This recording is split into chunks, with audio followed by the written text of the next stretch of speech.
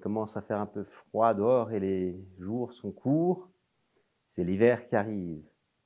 Et pour passer un bon temps, rien de tel que d'allumer un chouette feu à la maison. Je vais vous montrer dans cette vidéo comment faire un feu. La démonstration aura lieu dans un poêle à bois, mais c'est la même technique pour des inserts comme celui-ci ou bien pour euh, simplement une cheminée ouverte. Pour cela, nous allons direction la campagne. C'est parti avant de commencer, quelques explications sur le poêle à bois. Ici, une poignée pour ouvrir la porte. Assez simple. Et ici, tous les poils et les, inserts ont ça. C'est quelque chose qui permet de régler l'intensité de l'arrivée d'air et euh, donc par ricochet de l'intensité du feu. Donc sur ce modèle, quand c'est à droite, c'est que c'est ouvert. Une chose importante, euh, lorsque le poêle a tourné depuis un bout de temps, cette poignée qui est en métal va devenir très chaude.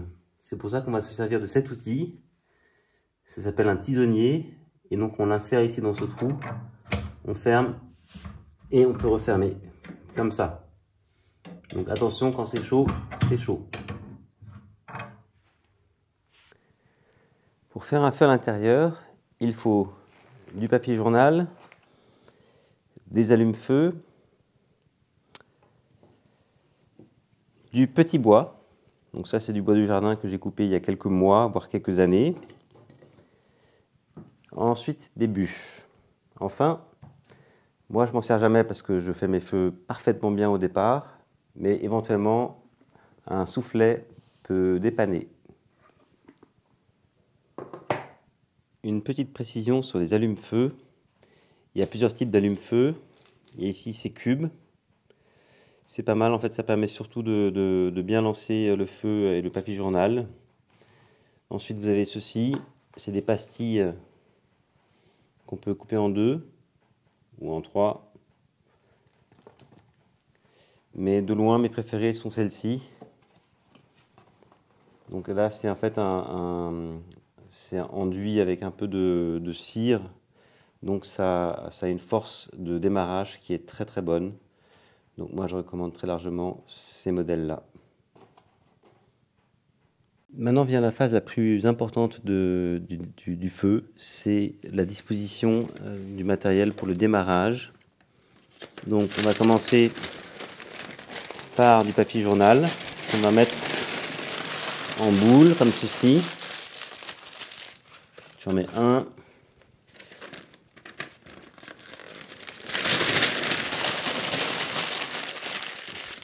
Deux.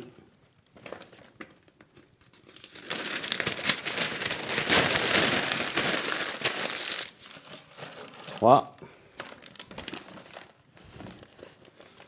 Ensuite, je vais placer le démarreur à un endroit stratégique c'est-à-dire à peu près au milieu. Un seul démarreur, ça suffit si le bois est relativement sec. Si vous n'avez pas de date d'allume-feu, il y a d'autres solutions. Des petites boîtes de camembert vides. Ou bien ce qui est très bien aussi, c'est les petites bourriches à huîtres.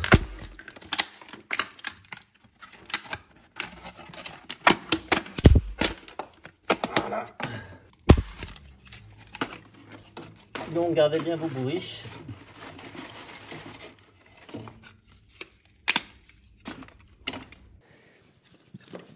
Et ensuite, on va disposer les petites branches comme un feu à l'extérieur. On va faire un petit tipi. Et l'important dans cette disposition, c'est que l'on arrive à créer un foyer à l'intérieur, au centre. C'est ce foyer qui va faciliter le démarrage.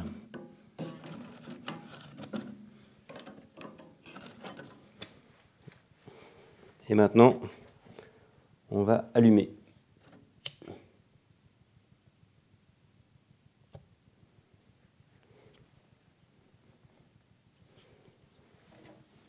On peut allumer à différents endroits. Et donc, en se consumant, le papier journal va atteindre le démarreur. Et donc, si on n'a pas de démarreur, il faut prendre simplement le soufflet.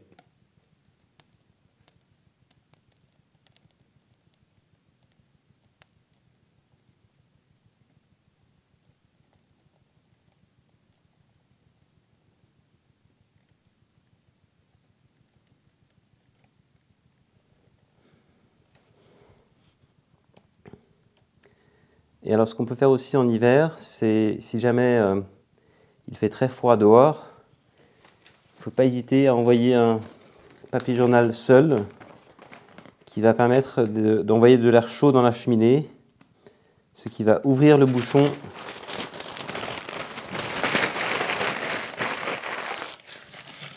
Donc là, j'ajoute un papier journal. Ça va donner un petit coup de boost, mais c'est surtout pour enlever ce bouchon qui freine l'évacuation de l'air. Sinon, vous voyez que là, ça tire pas bien, donc il y a de, la fumée qui rentre dans la maison.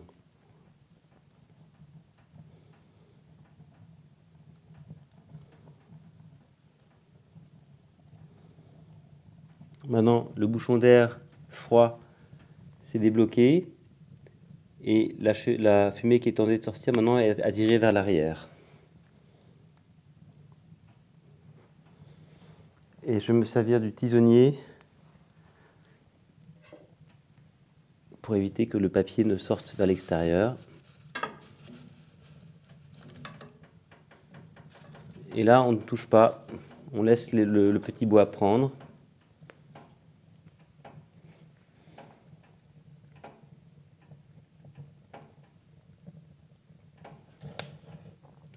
On peut rajouter un peu au départ.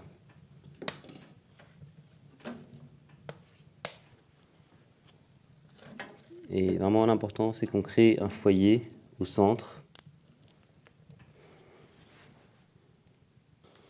Et là quand on a cette intensité de feu avec le démarrage, on peut mettre les bûches. Attention de ne pas se brûler.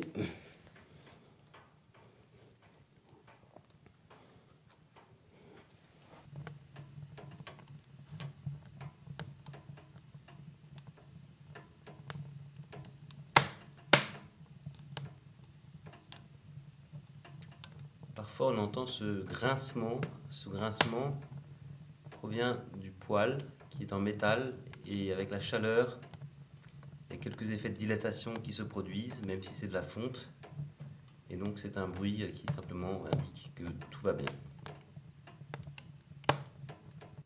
Voilà, maintenant le feu est bien lancé. Donc, euh, dès qu'il y a de la place, on peut rajouter une bûche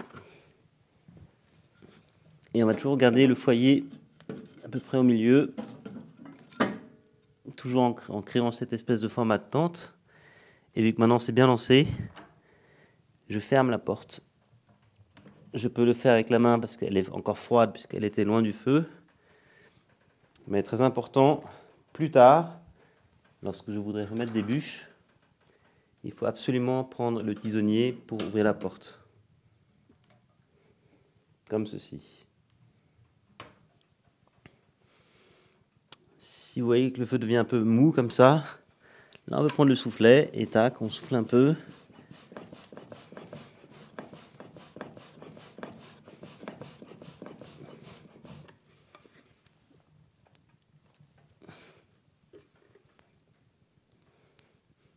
Et ensuite on ferme. Et voilà un feu qui est parti pour longtemps.